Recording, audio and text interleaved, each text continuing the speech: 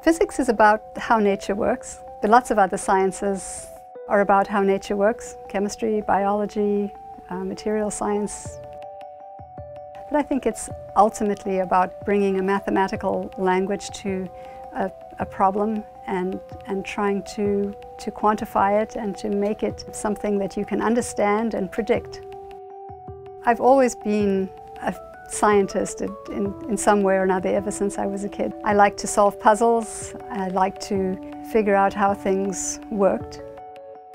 But then when I, um, I went to school, science, as we called it, physics and chemistry, was always what interested me along with mathematics. And I gravitated to that and to all of the other scientific parts of, of all of the other subjects that I did. Well, the kind of work that I do is understanding materials and materials discovery, and there are many pressing problems in the world to be discovered. We, we need to find materials that help us produce energy, that store energy, that run the, the electronics and the, the information technology of, of today.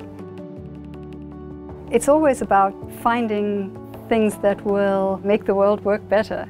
I would very much like it if the materials that I discovered are useful and make people's lives better. I am good at solving problems that come my way and I like to try to find out how they can be applied elsewhere.